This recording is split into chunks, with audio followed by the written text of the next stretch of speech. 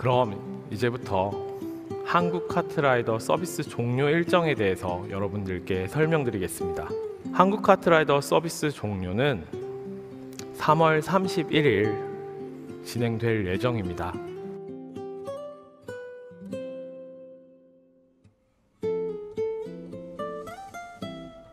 아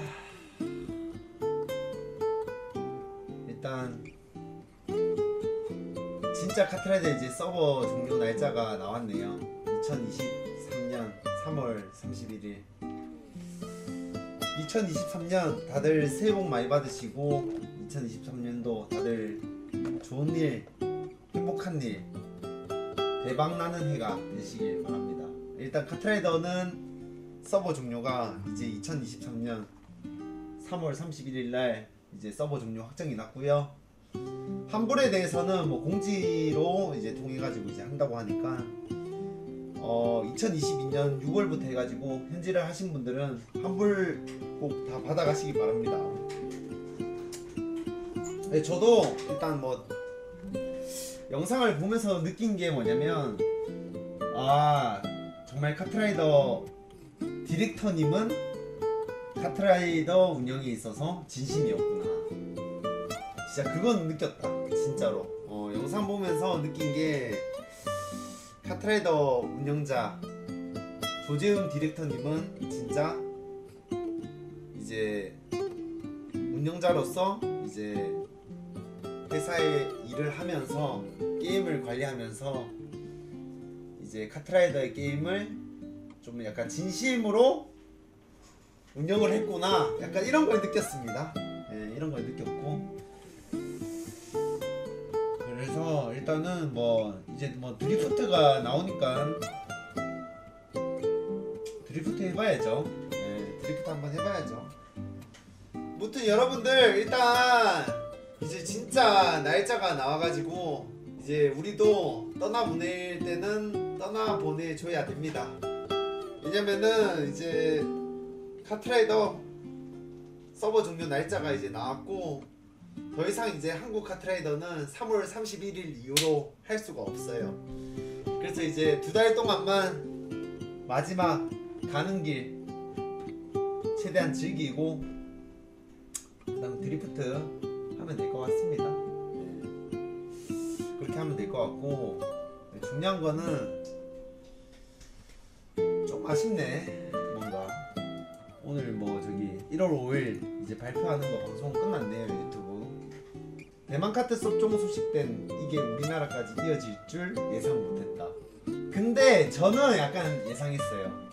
저는 이제 대만 카트라이더 섭종이 떴을 때 어느 정도 예상했어. 왜냐면은 대만 카트가 갑자기 섭종할 리가 없어 이거. 음 그래서 나는 어느 정도 예상했어. 불안하, 불안하다고 생각했어 나는. 어, 왜 대만 카트가 지금 시기에 왜 갑자기 섭종을 하지? 그리고 드리프트 출시는 이제 얼마 안 남았는데 1월달에 드리프트가 이제 출시한댔는데 왜 대만 카트가 뜬금없이 드리프트 매우 누런 이빨님 300개 가져와.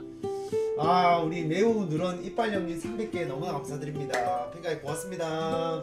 자 그래서 아무튼 저도 이제 제 인생을 이제 바친 카트라이더의 이 게임 방송은 역사 속에 끝이 났습니다 여러분들. 그래서 일단 뭐 카트라이더 드리프트에 뭐 예를 들어서 뭐 인플루언서 대회도 나중에 연락하더라고. 그래서 그것도 한번 도전해보고 좀 진지하게 한번 임해볼까 해요. 네 진지하게 좀 임해가지고 대회도 한번 나가보고 한번 해볼까 합니다. 네, 드리프트는 여러분들 정확하게 1월 12일 정확하게 지금 오늘부터 이제 일주일 남았습니다 그러니까 일주일 전에 이렇게 1월 5일날 발표한 것 같아.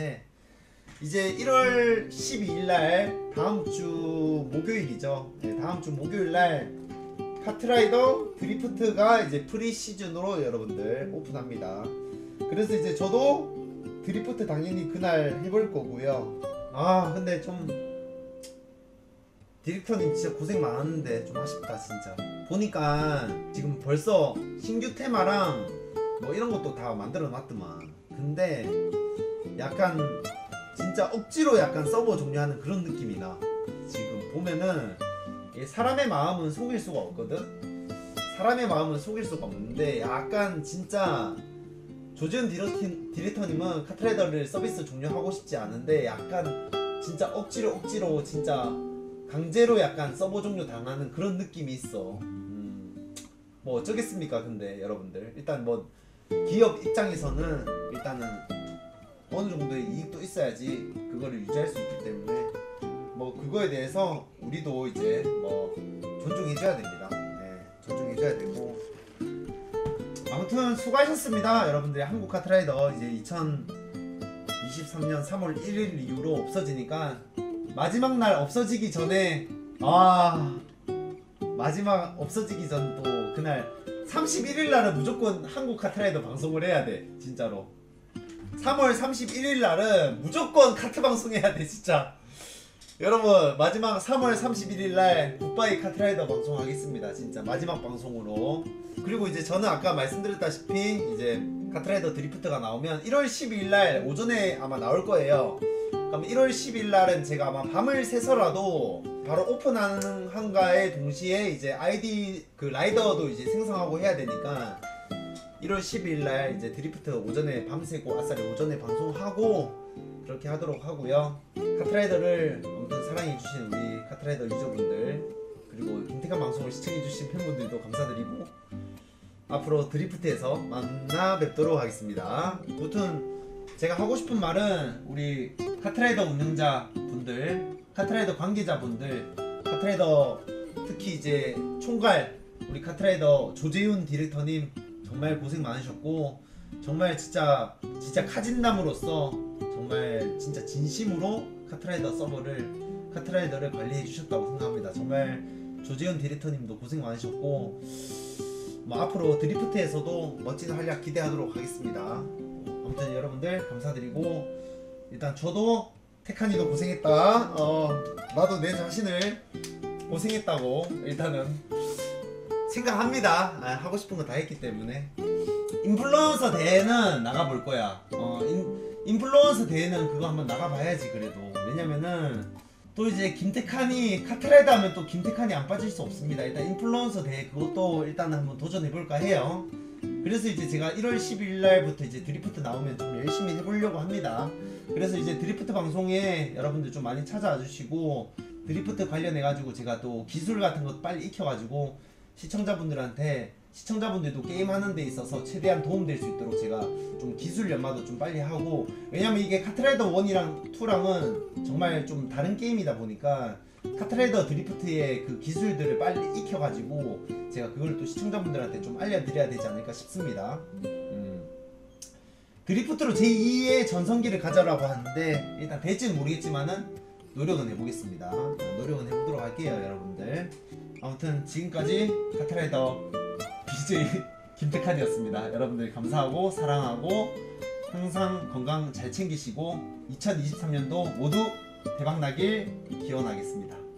감사합니다. 수고하셨습니다, 여러분들. 새해 복 많이 받으세요. Happy New Year.